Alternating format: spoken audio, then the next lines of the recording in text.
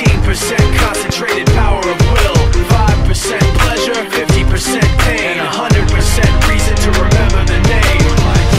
He doesn't need his name up in lights He just wants to be heard Whether it's the beat of the mic. He feels so unlike everybody else alone, in spite of the fact that some people still think that they know but no, he knows the code. It's not about the salary, it's all about reality and making some noise, making a story, making sure his click stays up. That means when he puts it down, Tak's picking it up. Let's go. Who the hell is he anyway? He never really talks much, never concerned with status, but still leaving him starstruck. Humble through opportunities given despite the fact that many misjudge him cause he makes a living from writing raps. Put it together himself, now the picture connects. Never asking for someone's help or to get some respect. He's only focused on what he wrote, his will is beyond reach. And now it all unfolds, the skill of an artist. This is 20% skill, 80% fear, be 100% clear, cause Ryu was ill. Who would've thought he'd be the one that set the West in flames? And I heard him wreck it with the crystal method, name of the game. Came back, dropped Megadeth, took him to church. I like Bleach, man. Ryu had the stupidest verse, this dude is the truth.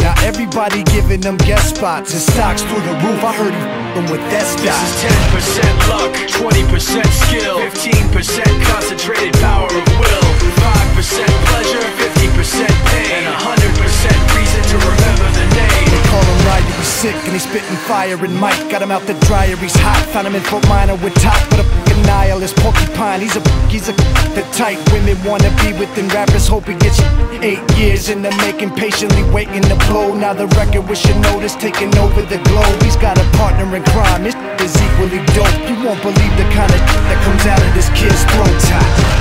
Not your everyday on the block. He knows how to work with what he's got, making his way to the top. You don't think it's a comment on his name. People keep asking him, was it given that birth that doesn't stand for an acronym? No, he's living proof. Let him rock in the booth. He'll get you buzzing quicker than a shot of vodka with juice. Juice. Him and his crew are known around as one of the best. Dedicated to what they do and give 100%.